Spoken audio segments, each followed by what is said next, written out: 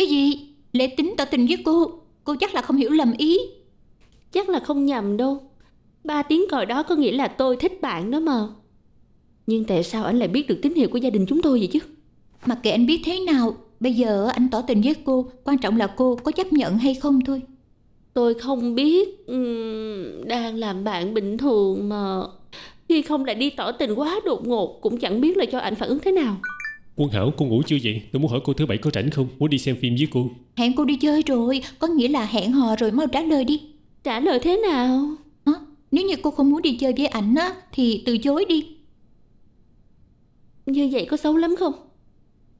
Thường ngày á, những con trai trong trường hẹn cô Cô không muốn đi thì không tới một giây là từ chối rồi. Bây giờ cô không muốn từ chối. À cũng thích lễ tính rồi. Làm gì có cô đừng có nói bậy mà. Suy nghĩ kỹ rồi mới trả lời tôi. Cô thật là không hề có cảm giác với lễ tính sao? Tôi cũng không biết. Xưa nay tôi đều coi ảnh là bạn thôi. Nhưng mà nghĩ sâu vào thì con người của ảnh Nhiều khi có vẻ rất là lanh lợi.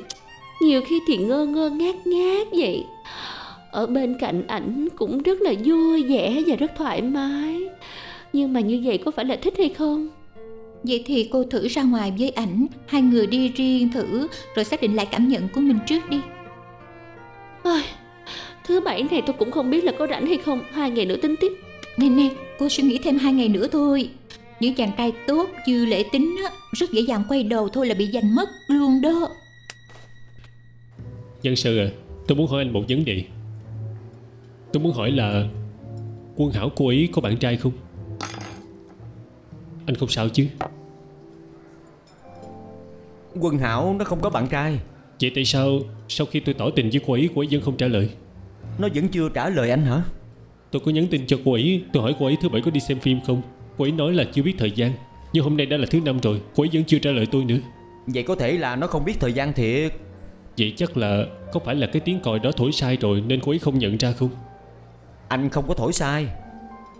Vậy tại sao chứ Ở trước mặt anh cô ấy có nhắc tới tôi hay không? Nó không có nhắc tới. Không hả? Tôi cũng sắp tới giờ đi sửa ống nước cho Lê Ký rồi. Tôi phải đi đây. Làm phiền Tính tiền giùm Tôi trả được rồi. Nếu như anh rảnh rỗi Nói vài lời hay giúp tôi ở trước mặt quân hảo nha. Những chuyện này thì đợi quân Hảo tự mình quyết định đi Những người ngoài cuộc như tôi không tiện ra nhiều ý kiến. Anh làm sao mà là người ngoài được? Nếu không phải nhờ anh thì tôi cũng không quen được quân hảo. Với lại là anh nói mà Chỉ cần có tâm Thì sẽ tìm được điều mà mình muốn. Anh sẽ giúp tôi chứ. Thường ngày á đâu thấy cô mặc cái đầm này Mới mua hả? Đâu có tôi ít mặc thôi. Đẹp lắm nha. Thiệt hả? Phải đức rất hợp với cô. Ê Kim Thắng. Ờ Vô đây tìm Giang Sơ à? Phải. Ảnh đi qua tiệm xe đạp rồi.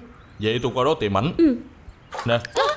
Ờ, Khăn Xin giấy lỗi khăn xin lỗi. Giấy May là không sao không cần đâu. Ờ, Tôi phải đi gấp rồi đi trước nha. Ừ. Khoan đã. Vui tươi quá Đi đâu vậy? Cổ và lễ tính đi hẹn hò đó. Thôi đi cô đừng có nói bậy mà. Đi đón xe buýt không nói nữa. Bye bye. Bye bye. Bộ có hẹn hò với lễ tính sao? Bây giờ thì vẫn chưa. Qua luôn hôm nay thì không biết nha Má đã kêu con đi khám bác sĩ rồi. Ở đó cố gồng.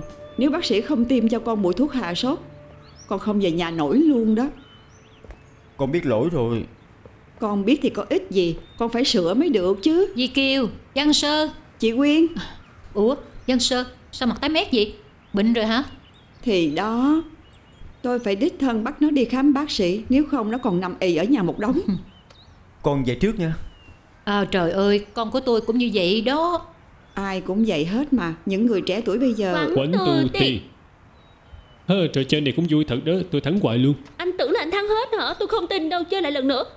Quán tu Ti À nè Lần này tới lượt tôi thắng rồi Tôi được bước ba bước rồi. Phải phải phải phải. Một.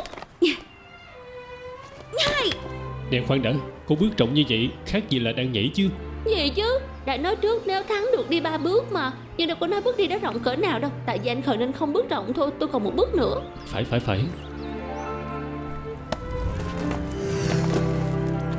宁于没拥抱，共你可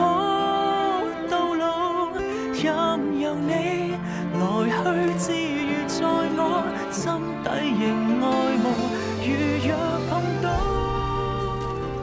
Dì Kiều à lần sau nói tiếp nha. Không làm phiền nữa. Bye bye. Bye bye. Ơ anh An Giang. Tôi không dịu cô là cô té xuống đất rồi. Quân Hảo lễ Giang tính. Dì Kiều.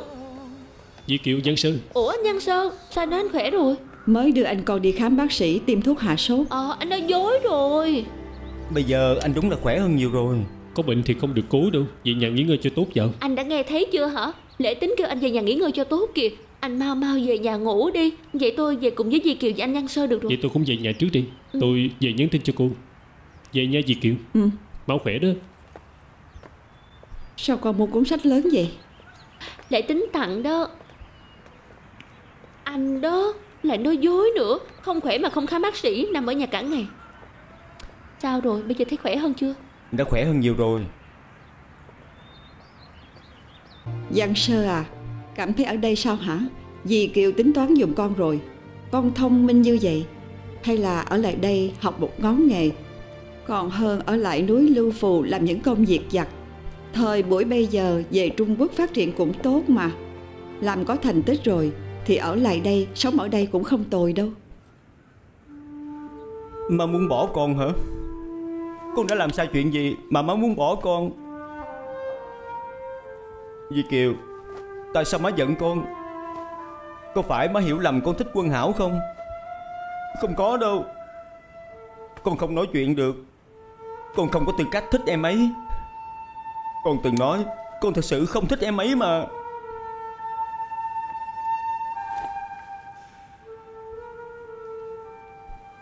Giang Sơ, Má xin lỗi. Má không nghĩ là má làm như vậy tổn thương đến con. Con cũng biết là Quân Hảo vừa chào đời đã mất mẹ. Má với nó nương tựa vào nhau. Người má thương nhất là nó. Nếu có năng lực Má sẽ cho nó thứ tốt nhất trên thế gian này. Con cũng giống như má. Cũng thương quân hảo giống như má. Con cũng muốn cho nó điều tốt nhất trên thế gian này. Tuy chúng ta không có máu mủ Nhưng má coi con như con trai ruột. Con được má nuôi nấng. Má cũng thương con mà Má không muốn nhìn thấy con không vui. Má tưởng là Giúp con thay đổi hoàn cảnh sống, Con sẽ thoải mái hơn. Tất cả tại má. Không phải má không yêu con, Má không phải muốn bỏ con. Má muốn con mãi mãi ở bên cạnh má, Để má Để má có thể chăm sóc con. Con biết mà. Nhưng mà con cũng biết là Không có má, Sẽ không có con.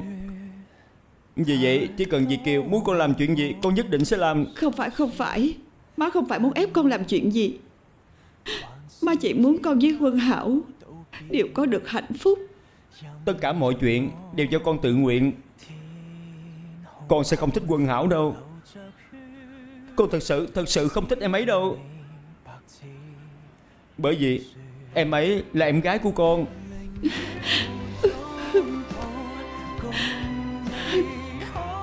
Không sao không sao rồi. Chúng ta về Hồng Kông.